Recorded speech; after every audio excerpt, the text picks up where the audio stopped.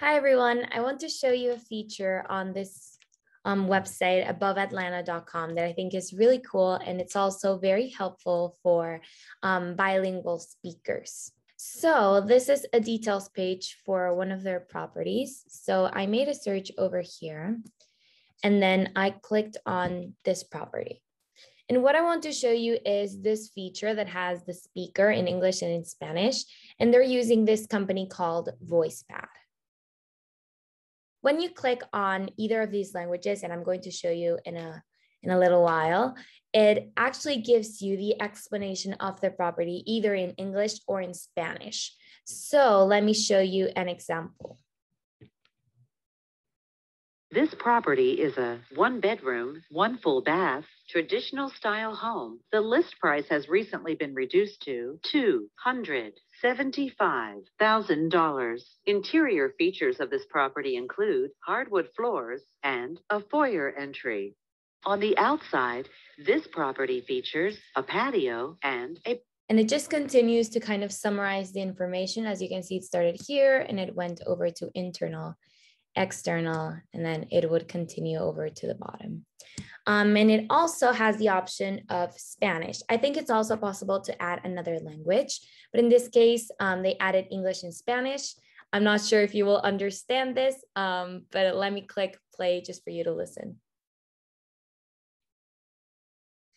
Este hogar tiene una recámara, un baño. Últimamente, el precio de la propiedad ha sido reducido a 275 mil dólares. Características interiores incluyen varios walk-in closets, pisos de madera dura y accesible para los discapacitados. El exterior de esta propiedad. I think that's a good example um, for you to get an idea of more or less how this works. And this is a feature that is very useful for people that are trying to make their website ADA compliant.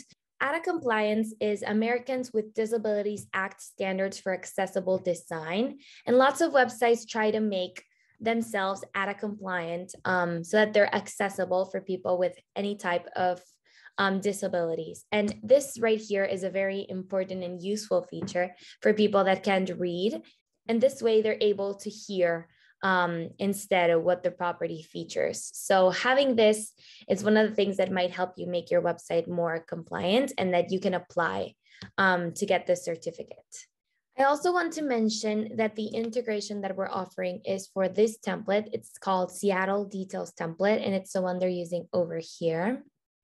So if you have this template by Realty Candy in your site and you want to use VoicePad, it's very easy. We have an integration in IDX add-ons. You go to API keys, and then you need to get your VoicePad code. So they have to have a code um, for integration, and you just add it in here, click on save, and it will show up on this details template like it does over here. Um, I think this is a really cool feature that Above Atlanta has, and it's there on all of their um, details pages. Thank you so much. And we wish you a safe and happy holiday um, from Realty Candy.